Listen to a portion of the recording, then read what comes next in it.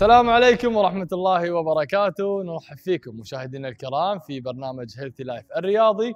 من خلال برنامجنا نقدم لكم فقرتين. الفقرة الأولى اللي هي عبارة عن نصائح عن التغذية ونصائح عن الرياضة. الفقرة الثانية اللي هي عبارة عن مجموعة من التمارين نشرحها لكم بالكامل بالطريقة الصحيحة والخاطئة على أساس تستفيدون منها بشكل كبير. اليوم إن شاء الله راح نتكلم عن أسباب اللي هو فشل الرجيم أو بعض الأشخاص اللي يتبعون الحميات الغذائية ولكن بشكل خاطئ فبالتالي يتجه حق حياته الروتينية ويهمل اللي هو عملية الدايت أو الرجيم لأنه يقول أنا ما تمكنت أو ما استفدت منه بشكل الصحيح. أول شيء طبعا لازم آه، آه، تعرف إن كمية احتياج جسمك الطول الوزن احتياج الجسم من السعرات الحرارية ومن كميات الأكل. هذا الأمر مهم مو بس أنا بسوي دايت وخلاص آه، آه، يعني آه، اشيل كربوهيدرات مثلا من غذائي أو اشيل فيتامينات أو الالياف. لا لا لا لا. انت لازم اول شيء تحدد اللي هو الطول والوزن والهدف أيضا. الهدف شنو؟ الوزن اللي انت تبي توصل له. ما هو الوزن المثالي اللي هو مناسب لك. كم كيلو من الكيلوات تبي تنزل. فتحاول من خلال انك تحدد الأهداف هذه من بعدها تتبع أمور معينة ولكن قبل لا تتبعها راح أقول أسباب اللي هو الفشل، أسباب الفشل اتباع حمية غذائية غير مناسبة لنمط الحياة. بمعنى الحمية الغذائية اللي هو قاعد يتبعها ممكن كمية الوجبة ما تكفي. آه، الطريقة خاطئة. آه، الوقت ما بين الوجبات فترة قصيرة أو فترة طويلة فتسبب له الجوع آه، على فترة كبيرة. فهني أنت الروتين أو النمط الحمية الغذائية لازم تغيره. تتجه حق نمط آخر. زين عندك اللي هو الحصول على كميات آه، أو آه، الحصول على كميات من الحصص الغذائية بشكل كبير سواء صحية أو غير صحية، الصحية أيضا أنت ما تحتاج إنك تاكل كميات عالية، يعني مثلا أنا اليوم قاعد آكل وجبة اللي هي وجبة دايت ما فيها دهون ولا سكريات ولكن فيها كربوهيدرات وبروتين على سبيل المثال وألياف. ولكن آكل كمية عالية. لا أنت هني الكميات العالية هذه راح تتحول إلى دهون. أنت نفس ما ذكرت لكم بداية الحلقة لازم تحدد احتياج جسمك. لأن إذا حددت احتياج جسمك أنت راح تاكل الكمية اللي يحتاجها الجسم فبالتالي راح يمتص الكمية هذه ويوزعها بالجسم على طريقة صحيحة ويغذيه من دون تحولها إلى دهون. وأيضا عندك آه، آه، أيضا عندك اللي هو حاول إنك تتبع حمية غذائية تكون فيها السعرات الحرارية أيضا مناسبة لجسمك. أيضا السعرات الحرارية مهمة لأن السعرات الحرارية توزيعها على الوجبات راح تختلف معاك وراح أيضا تتحول إلى غذاء بالكامل حق الجسم. وأيضا تحاول ما تأخذ الكميات ما تحاول تخلي وجباتك فيها سعرات حرارية عالية. نفس ما ذكرت توزعها على جسمك بالطريقة الصحيحة. زين. بالنسبة حق آه، الطرق اللي هذه اللي تؤدي إلى الفشل لأن آه، نفس ما ذكرت لكم السعرات الحرارية العالية الكميات العالية هذه كلها خاطئة. آه، أما أما الطريقة الصحيحة اللي هو تختار كميات قليلة من الغذاء ولكن توزعها على مدى اليوم الفترات. حاول إنك ما توصل حق مرحلة الجوع أيضا بشكل كبير صحيح إنك تكون تقدر تاكل وجبتك ولكن ما توصل حق مرحلة الجوع العالي اللي ممكن خلاص تاكل أي وجبة موجودة أمامك.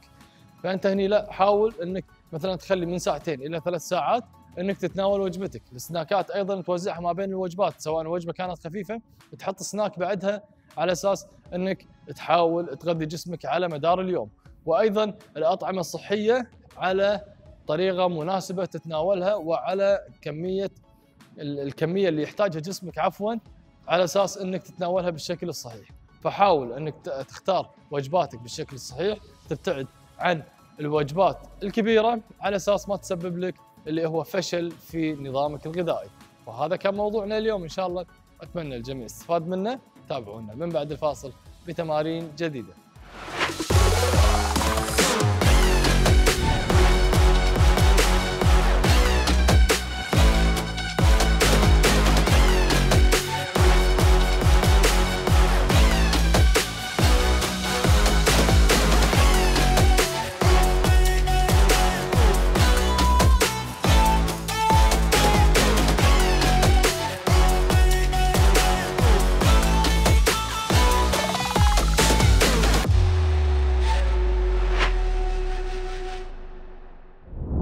رجعنا لكم مشاهدينا الكرام من بعد الفاصل. راح أقدم لكم اليوم إن شاء الله أكثر من تمرين مع الجهاز الموجود خلفي اللي هو البار طبعا البار تقدر تلعب فيه أكثر من تمرين سواء اللي هو عضلة الرجل سواء الأكتاف سواء عضلة الباي سواء عضلة البيطان أو عضلة الظهر القطنيه فراح يساعدك في أكثر من تمرين وأيضا تقدر تستخدم الجهاز في تمارينك المنزلية. أول شيء راح أحرك اللي هو أو أستهدف اللي هي عضلة القطنيه للظهر. اللي هي على المستوى هذا. هذه العضلة القطنيه في هذه المنطقة تكون أسفل الظهر طريقة التمرين من دون الجهاز بهذه الطريقة. لاحظ الصدر راح يكون إلى الأمام. النزول بهذا المستوى انحناء في الظهر أصعد إلى الأعلى. أو لاحظ المرفقين راح يكونون بهذا الشكل وبهذه الطريقة. الحين طبعا راح آخذ التمرين مع اللي هو البار الموجود خلفي. راح اخذ البار بهذه الطريقة. اثبته امام رجلي. انزل بهذا المستوى اصعد إلى الاعلى.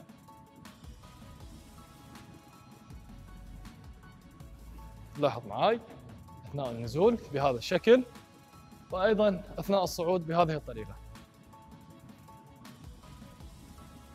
هذا التمرين نفس ما ذكرت لكم يستهدف اللي هو العضلة القطنية للظهر. هذا التمرين الأول. التمرين الثاني راح يكون كالتالي اللي هو حق العضلة الأمامية للأكتاف. أحرك بهذه الطريقة. أيضا لاحظ بالنسبة حق المرفقين راح يكونون بهذا الشكل أصعد وأنزل بهذه الطريقة. الطريقة هذه خاطئة؟ لا. بهذا بهذا الشكل.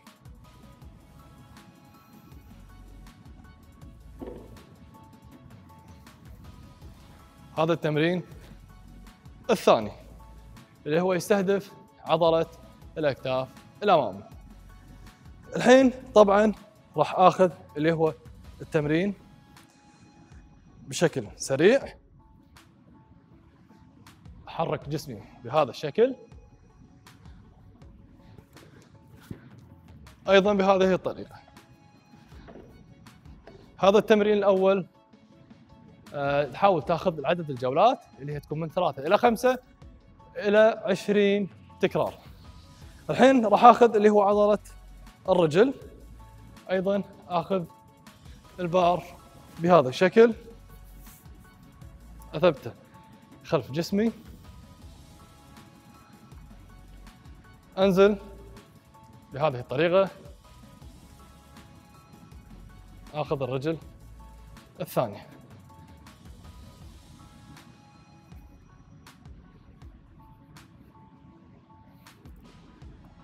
لاحظ معاي؟ نزول الرجل اليمنى الرجل اليسرى. هذا التمرين أيضا حق عضلة الرجل. الحين راح آخذ التمرين اللي هو راح ياخذ لي عضلة الذراع الأمامي بهذا الشكل. لاحظ معاي؟ طريقة التمرين. المرفق ثابت بجانب جسمي.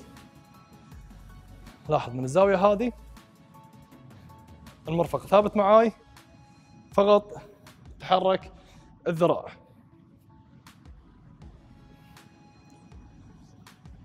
عدد الجولات تكون اللي هي من ثلاثة إلى خمسة وأيضا التكرار يكون 15 هذا التمرين الأخير. طبعا بالنسبة حق التمارين حبيت أبين لكم إياهم. مع البار تقدر تحرك أكثر من تمرين في وقت واحد وأيضا تدخل التمارين مع بعض بشكل أكثر. وهذا كان تمريننا اليوم إن شاء الله. أتمنى الجميع يستفاد منه. تابعونا بحلقات مقبلة بتمارين جديدة.